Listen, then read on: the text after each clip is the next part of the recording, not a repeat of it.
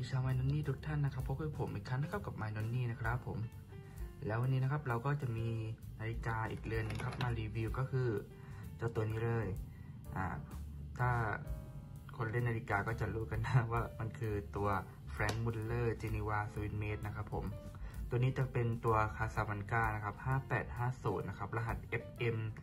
1055 นะครับ ก็คือตัวนี้จะเป็นแบรนด์ของทางแฟรงค์มุลเลอร์ ที่เขาได้รับแรงบันดาลใจนะครับผมมาจากหนังของสหรัฐอเมริกาที่ชื่อว่าคาซาบังกานะครับ เมื่อฉายเมื่อปี 1942 นะครับผม ตัวนี้นะครับถ้าเกิดเพื่อนในวงการก็จะรู้กันว่าเป็นนาฬิการะดับ High End Luxury นะครับผม ก็คือเป็นนาฬิการะดับแบรนด์หรูแบรนด์ดังนะครับผม ตัวนี้เราก็เป็นตัวสแตนเลสนะครับผมทั้งเรือนเลย ทั้งเรือนนี้จะเป็นสแตนเลสนะครับผมสแตนเลสสตีลเป็นตัว SUS 904L นะครับ ก็คือจะเป็นสแตนเลสที่ระดับสูงกว่าสแตนเลส304 316 อะไรพวกนั้นนะครับผม แล้วก็ตัวตัวข้างหน้าตัวเลขเนี่ยครับ จะเป็นตัว Arabic นะครับผม ที่เป็นสไตล์เอกลักษณ์ของตัว Franck Muller เองนะครับ จะออกแนวแบบ โดยรวมเนี่ยก็คือจะออกแนว Art Deco นิดนึงนะครับผมออกแบบให้ดูมีความเป็นคลาสสิกนะครับผม classic dress watch นะครับแบบนี้ก็คือเป็นสามารถใส่ไปเป็นทางการได้นะครับ แล้วก็จะมีการปัดเงาสแตนเลสมานะครับ ค่อนข้างที่จะเงานะครับผมตัวนี้ก็คือจะนันนัมเบอร์นะครับ นัมเบอร์เขาจะรันมาที่ 4259 นะครับผม นี่ข้างหลังก็จะมีตัวอักษรนะครับต่างๆเขียนไว้นะ ส่วนโลโก้นะครับ โลโก้แบรนด์เขาเนี่ยนะครับผม เดี๋ยวขอหมุนให้ดูนิดนึงนะนะครับเขาออกแบบมาได้ค่อนข้างที่จะพิถีพิถันเลยนะ จะเป็นรูปตัวก็คือแฟรงค์มุลเลอร์นะครับ ตัวย่อมาจาก FM ใช่ไหมครับผม ตัวนี้ก็จะเป็นเหมือนตัว F แล้วก็มีตัว M นะครับผม ซึ่งจะเป็นโลโก้แบรนด์ของเขาเลยนะครับ ก็คือคิดมาได้อย่างประณีตระดับหนึ่งเลยนะ ส่วน เดี๋ยวเราจะลองไปชั่งน้ำหนักดูนะครับตรงนี้หนักประมาณเท่าไหร่เอ่ย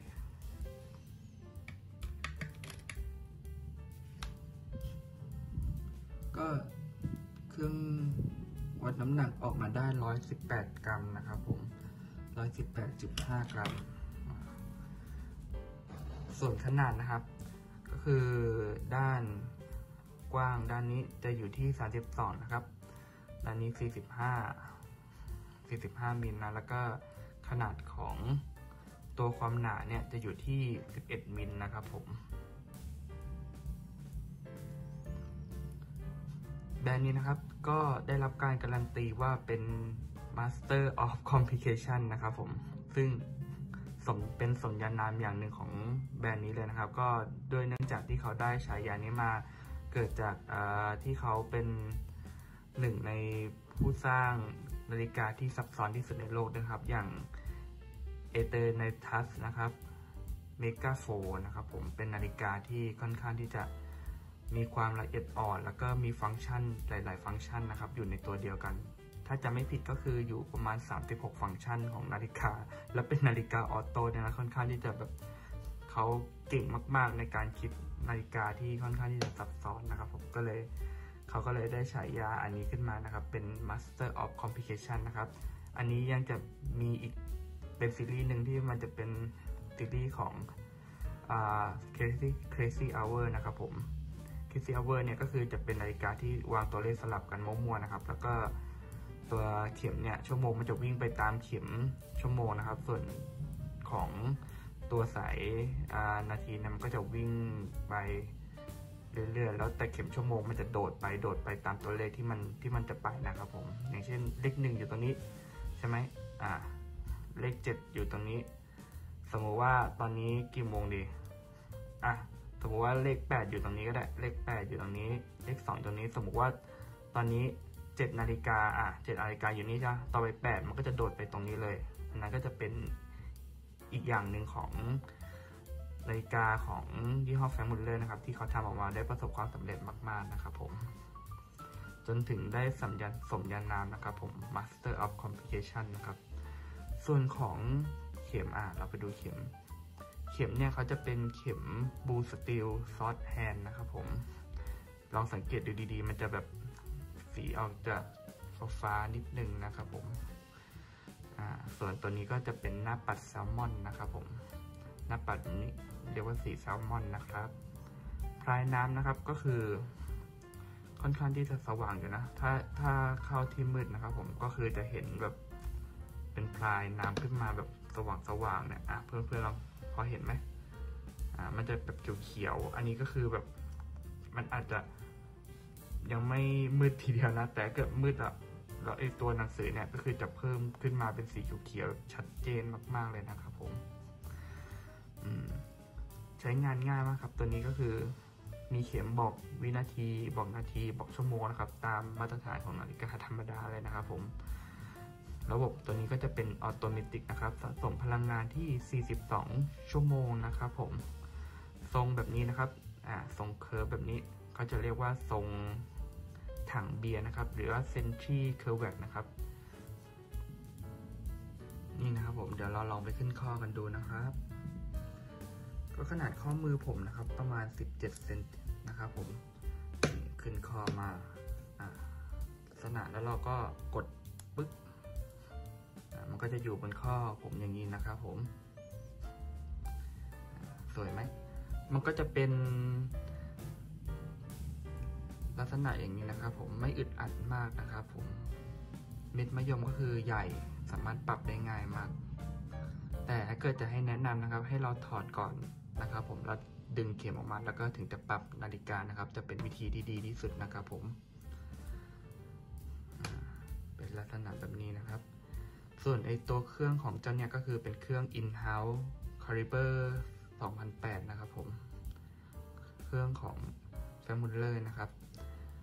ตัวนี้ผมก็ได้แบบมาก็คือกล่องอุปกรณ์นะครับ ก็คือครบเลยนะครับ ผมกล่องนอกกล่องในแล้วก็พวกใบ certificate นะครับ พวกกล่องอกระเป๋านะครับ ผมก็จะได้มาร่วมกันนะครับ ส่วนตัวนี้นะครับกระจกก็จะเป็นกระจก sapphire นะครับ ผมเป็น sapphire crystal นะครับกันน้ำอยู่ที่ 30 เมตรนะครับ ตัวนี้ก็คืออ โดนล้างน้ำล้างมืออะไรทั่วๆไปได้ แต่พยายามอย่าเอาไปอาบน้ำหรือว่าเอาไปลงเล่นน้ำอะไรเงี้ยก็คือไม่ค่อยเหมาะนะครับผม ส่วนตัวนี้นะครับออก shopที่ออกช็อปใหม่ๆนะครับ ก็คืออยู่ประมาณแสนปลายๆนะครับ แสนปลายๆนี่คือเมื่อราว20ประมาณราว20ปีที่แล้วนะครับผมแสนปลายๆก็ถือว่าเอาเอาเรื่องอยู่เนาะอืม ใส่ได้ทั้งชายหญิงนะครับผมทรงแบบนี้ ใส่ได้ทั้งชายหญิงเลยนี่ถอดออกมาก็จะเป็นลักษณะแบบนี้นะครับ ผม เป็นการล็อกแบบปิดผีเสื้อนะครับ ก็คือจะเป็นลักษณะนี้นะครับ กดเข้าไปด้านหนึ่งปุ๊บอีกด้านหนึ่งก็กดแปะเข้ามาปั๊บแล้วเราก็กดล็อกปุ๊บแค่นี้ก็จะอยู่แล้วนะครับ ผมเราดึงก็ดึงออกได้เลย ณะนี้นาฬิกาก็ ถ้าเกิดเพื่อนๆเราเอาไปแนบหัวก็คือจะได้ยินเสียงนาฬิกามันเดินนะครับ แต่มันเสียงมันจะเดินแบบค่อนข้างที่จะนุ่มนุ่มดีเหมือนกันนะ เสียงแบบกึกกึกกึกกึกกึกกึกแบบนี้ครับผมไปเรื่อยๆ ส่วนการปรับนะครับผม ดึงออกมากลึกหนึ่งพอเนี่ยลักษณะเดิมนี่ครับ ดึงออกมาปุ๊บ แล้วเราก็ปรับนะครับผมนะเราก็ปรับหมุนซ้ายหมุนขวาขึ้นได้นะครับผมนี่ลักษณะแบบนี้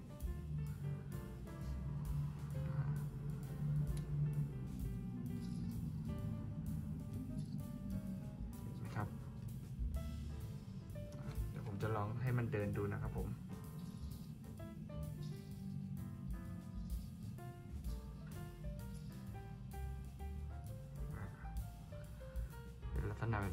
ก็หมุนเสริมได้นะครับ ผมให้เขาได้เก็บพลังงานนะครับ พอดีไม่ได้ใส่นานละ มันก็จะอาจจะแบบต้องมาขยาวนิดนึงนะครับ ผมอะนี่ครับ ลักษณะการเดินเข็มเขาจะเป็นอย่างนี้นะครับ ผม การเดินเขาเป็นอย่างนี้เลย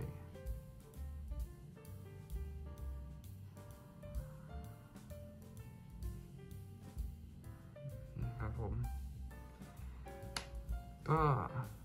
ตัวนี้นะครับเลิกผลิตไปแล้วนะครับ ก็ผลิตตัวนี้ก็คือ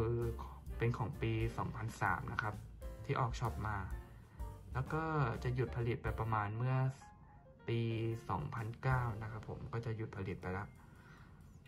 ก็แนะนำเป็นอีกหนึ่งตัวนะครับ บอกเลยว่าถ้าเกิดเพื่อนๆมีแบรนด์นี้นะครับ ก็คือใส่เข้าสังคมอะไรก็สบายนะครับ ชิวๆได้เลยไม่มีใครดูถูกแน่นอนนะครับผมแบรนด์นี้ก็มีช็อปอยู่ในประเทศไทยด้วยนะ ลองไปเสิร์ชข้อมูลดูได้เลยนะครับผมไปลองหาดูนะครับ รุ่นนี้ก็มันอาจจะไม่มีละแต่อาจจะเป็นตัว evo นะครับผม ซึ่งเป็นรุ่นของหลังๆละ